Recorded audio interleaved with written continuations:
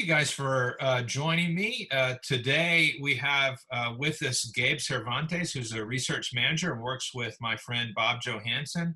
And uh, he has uh, uh, come to the Institute for the Future from Williams College and has all these studied the diaspora and the movement of people and is really interested in studying the diaspora as it has to do with uh, uh, the people in the digital world and excited to have you as part of the conversation, Gabe.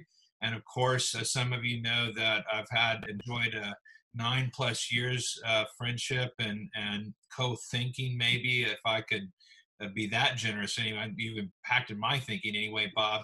Uh, Bob Johansen from the Institute of the Future in Silicon Valley with over 30 years of prognostication about the future. One of the best things I think you've taught me is uh, that we see in the uh, flotsam and jetsam of those things floating back to us from the future in our present time uh, and and love that image that we can even look around today and see that and that's why I was really excited about your your new book, uh, Full Spectrum Thinking, and how we can apply it uh, to leadership. And that's what we want to talk to you about today. So thanks again for for joining me. And uh, just to give everybody a little a little peek into that, uh, full spectrum thinking is this way of seeking patterns and clarity across gradients of possibility outside, across, beyond, or maybe even without any boxes uh, or categories, while, and I, I like this too, resisting false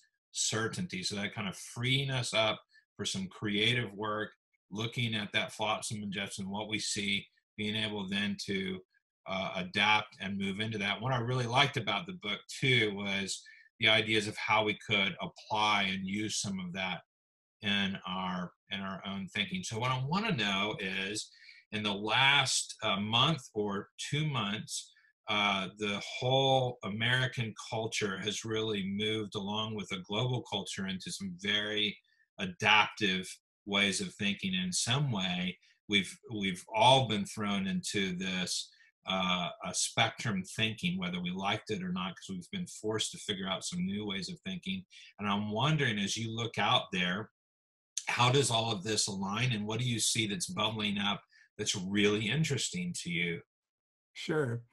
So, in a period like this, in a crisis period, you know, our brains uh, are just searching for certainty and certain trying to get rid of ambiguity. I mean we're our brains are just always looking for ways to protect our bodies um, and it's it's very tricky time.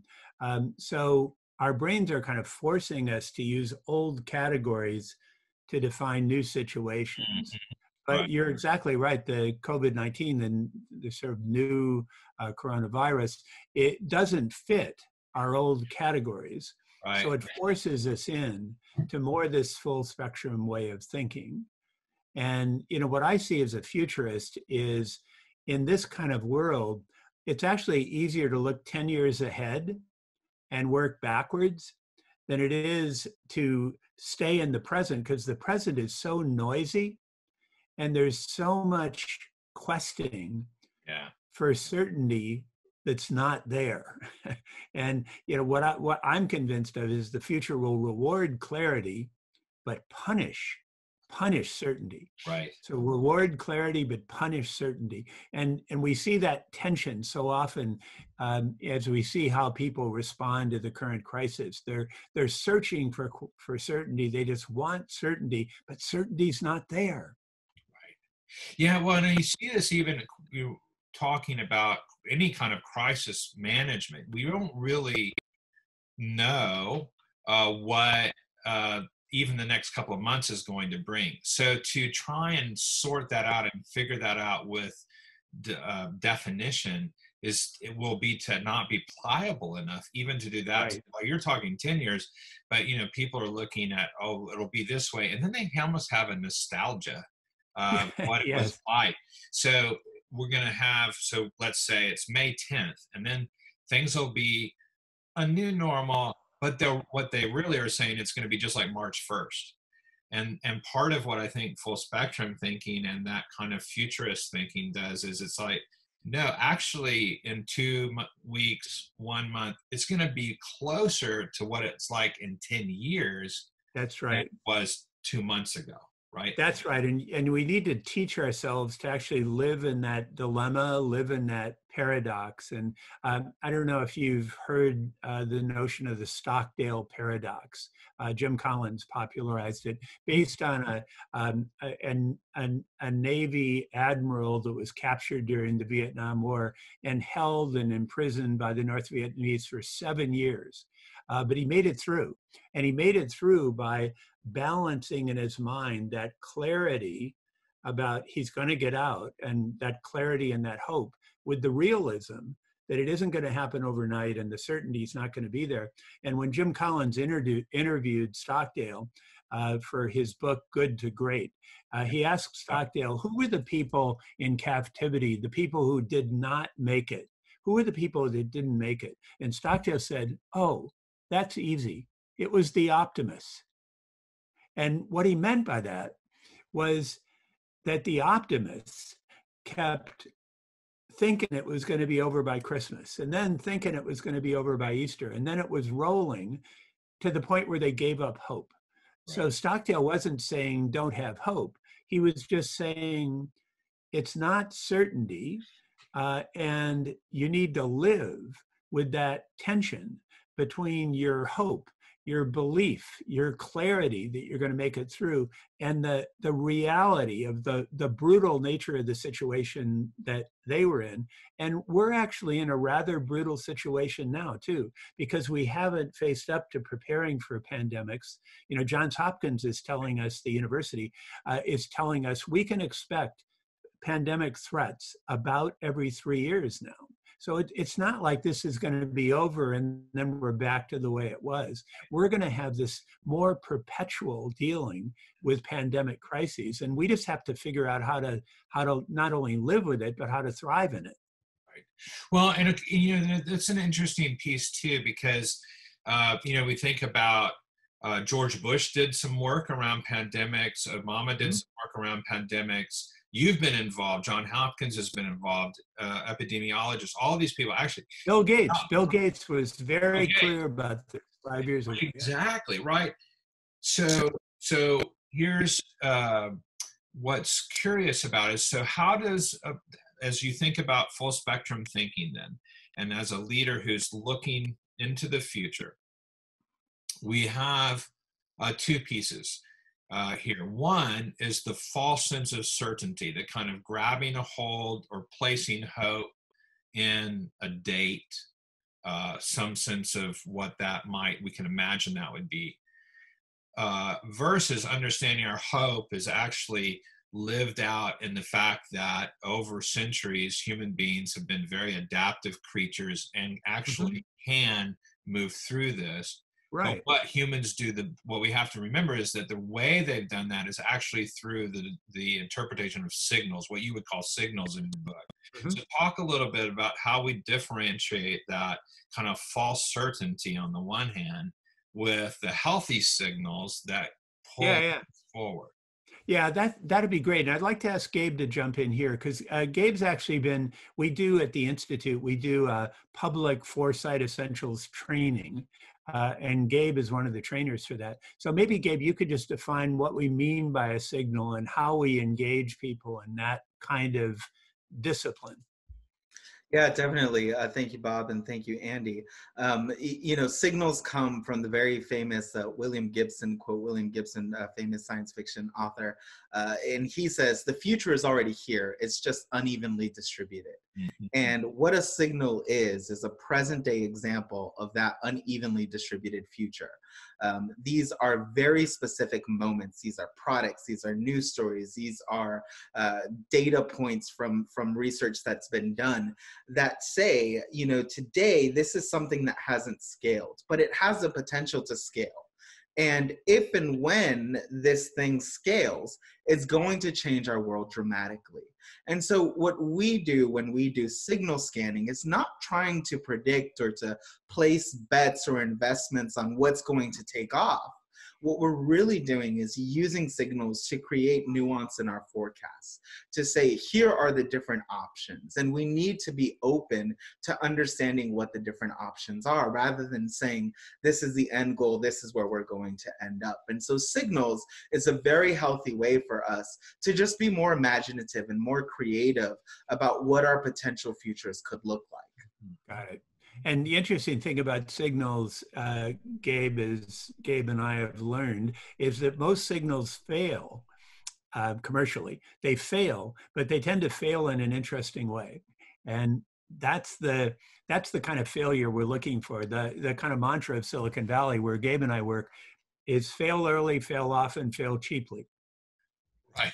And you know, Andy, if I can just jump in here and, and say, you know, there are um, great uh, kind of certain domains for when you go out for looking for signal. And where Bob and I are both ba- based in Silicon Valley, and it's so easy to fall into the trap of constantly looking for tech signals.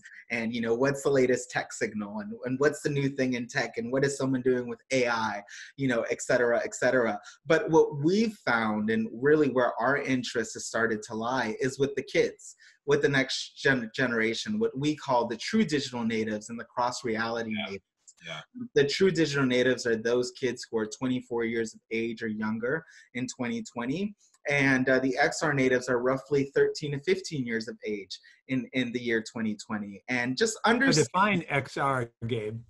Yeah, so XR would be cross reality natives, right. whereas the true digital natives kind of grew up in this world of uh, true digital media, right? Around 2010, we call it the 2010 threshold.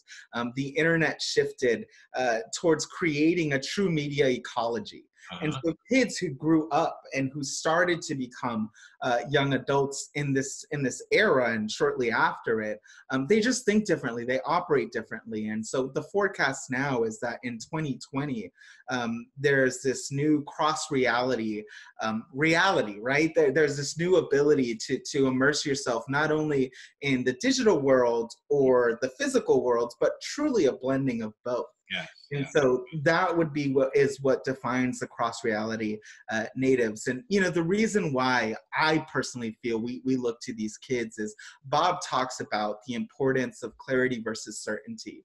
And the more you talk to these kids and the more signals you see from these kids, um, certainty is no longer a thing in their world.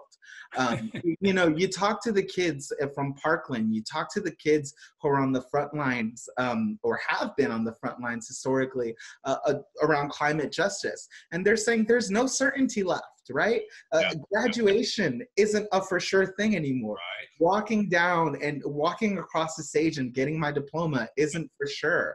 Um, you, you, know, being immune from wildfires in California isn't a reality anymore. And so these kids are just being brought up in this world where certainty is no longer certain. And it's causing them to adapt and be reflective and say, well, what's the clarity? If we can't have certainty, what's the clarity? Um, and as we move forward, we, we look to these kids and what they're prototyping and what they're doing um, really as sources of inspiration because of that. Mm-hmm.